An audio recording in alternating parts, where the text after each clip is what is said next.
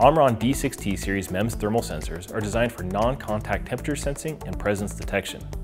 The sensors continuously measure temperature, enabling detection of moving and stationary people or objects.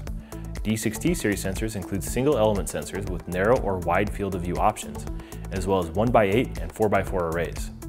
Sensors are available to measure temperatures from negative 40 to positive 80 degrees Celsius, with resolution as low as 0.02 degrees Celsius and plus or minus 1.5 degrees Celsius accuracy.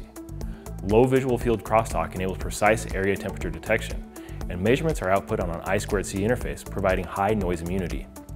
The sensors are ideal for use in energy-saving systems, security systems, and factory automation.